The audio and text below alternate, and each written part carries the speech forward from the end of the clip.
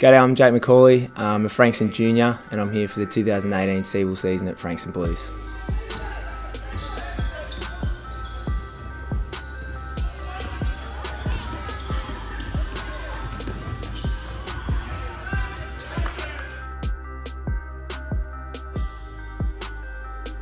Started back pre-season in October. Uh, it's great to have the youth league boys really getting involved. Uh, really looking forward to getting the imports in and getting things running.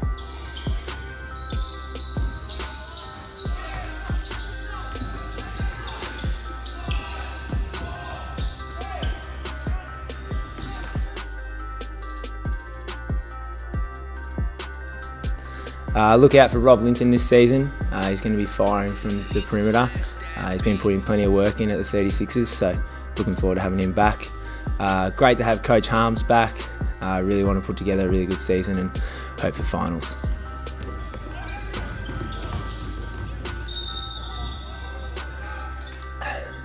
It's great to have Frankston RSL back this season. They did an excellent job last season.